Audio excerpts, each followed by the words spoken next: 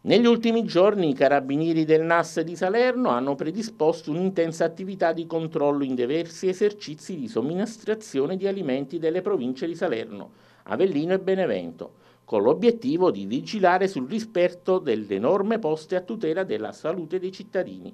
Tra gli interventi più significativi emerge quello effettuato in un ristorante pizzeria della provincia di Salerno, nel quale i carabinieri del NAS hanno sottoposto a sequestro amministrativo circa una tonnellata di carne congelata, priva delle indicazioni sulla tracciabilità. L'attività è inoltre stata immediatamente sospesa per gravi difformità e carenze igienico-sanitarie rilevate unitamente a personale della competente ASL.